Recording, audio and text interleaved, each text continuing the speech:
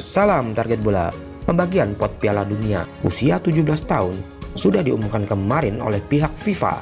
Hasilnya timnas Indonesia masuk di pot 1 bersama Brazil, Meksiko, Prancis, Jerman, dan Spanyol. Untuk pot 2 diisi Inggris, Argentina, Mali, Jepang, Korea Selatan, dan Ekuador. Untuk pot 3 diisi oleh Maroko, Senegal, Amerika Serikat, Uzbekistan, dan Selandia Baru. Terakhir di pot keempat diisi oleh Kanada, Panama, Venezuela, Polandia, Burkina Faso, dan New Caledonia. Dari pembagian pot ini, timnas Garuda Muda kita sedikit diuntungkan karena bertindak sebagai tuan rumah yang otomatis berada di pos 1 dan berada di grup A. Dan pastinya terhindar dari negara-negara kuat seperti Brazil, Jerman, Spanyol, dan Prancis di babak fase grup nanti. Namun bukan berarti akan mudah bagi timnas U17 tahun kita untuk lolos ke babak fase grup ini walau berada di pot 1. Masih ada tim-tim kuat yang menghuni di pot kedua, 3, dan 4 dan bisa saja tim-tim tersebut bergabung bersama timnas Indonesia nanti.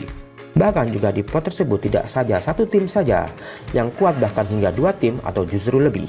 Di, pot 2 ada timnas Inggris dan Argentina. Kedua tim ini walau berada di pot kedua, namun kualitasnya sama dengan penghuni tim-tim penghuni di pot 1. Bahkan kualitasnya bisa dikatakan jauh di atas timnas U17 tahun kita. Dan dua tim lagi wakil dari Asia, yaitu Jepang dan Korea Selatan.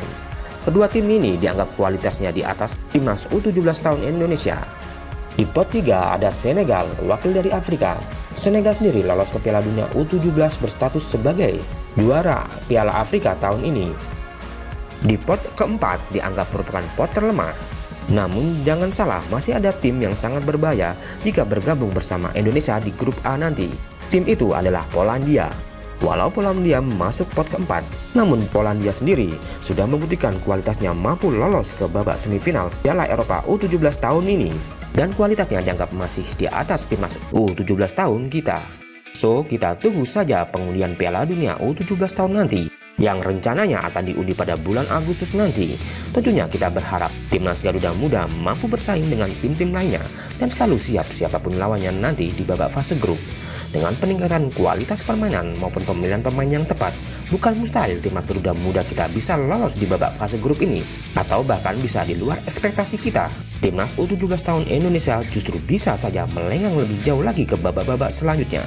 Bergabung di grup neraka pun bukan suatu masalah pecinta bola, fanatik bola, dan penggila bola se-Indonesia.